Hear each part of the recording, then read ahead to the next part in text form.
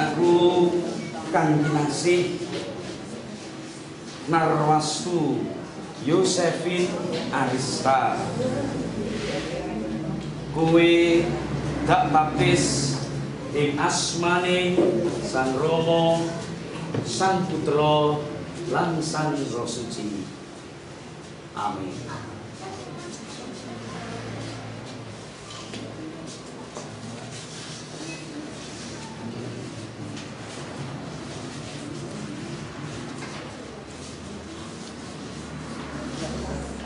Anakku kekasih.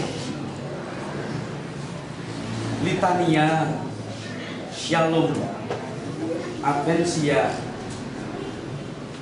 Kowe tak baptis ana ing asmane Sang Rama Sang Putra lan Sang Roh Suci. Amin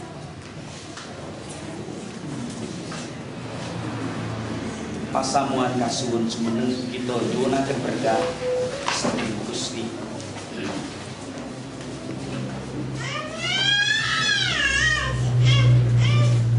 Gusti Allah ingkang sampun nimbali panjenengan tuwin putra-putra panjenengan ing saklebeting kesang inggal parenga nulungi panjenengan tuwin putra-putra panjenengan sageta gayuh kawilujengan ingkang sampurna.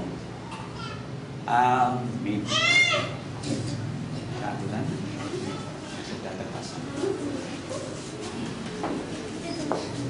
pasamuan ingkang dinasi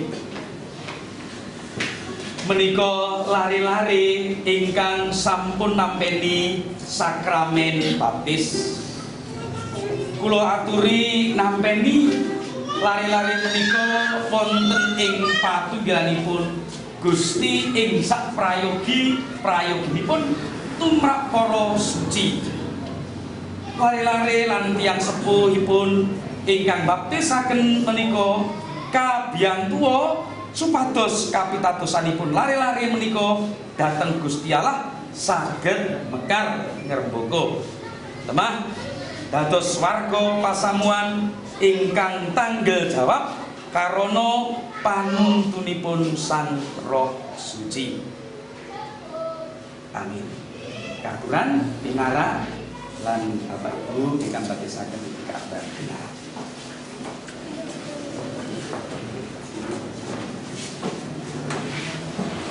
Para kinasih